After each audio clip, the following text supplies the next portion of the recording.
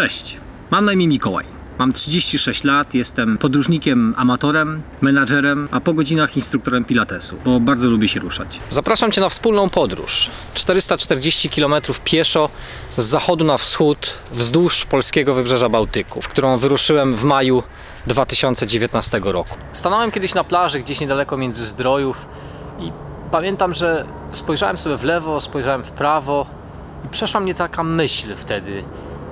Pomyślałem sobie, kurde, ale to musiałoby być zajebiste uczucie przejść kiedyś tak całe to wybrzeże. Wreszcie sięgnąłem po to marzenie. To nie będzie jakaś spektakularna podróż na miarę wielkich odkryć, zdobywania wysokich szczytów czy przekraczania niemożliwego. Ona jest nawet trochę bez sensu z punktu widzenia współczesnego świata, bo po co iść 19 dni pieszo, skoro można ten dystans pokonać w kilka godzin samochodem?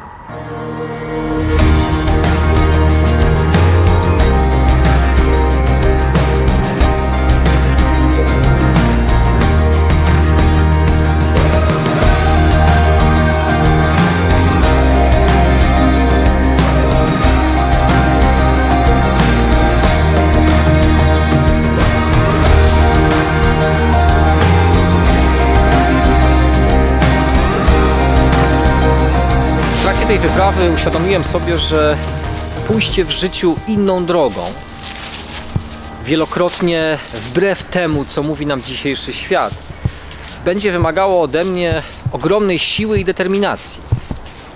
Ale może warto chociaż spróbować. Naprawdę dotarło do mnie, że nie trzeba wyjeżdżać na drugi koniec świata, żeby przeżyć prawdziwą przygodę, że często te najlepsze rzeczy są tuż obok nas, na wyciągnięcie ręki albo w moim przypadku bardziej nogi.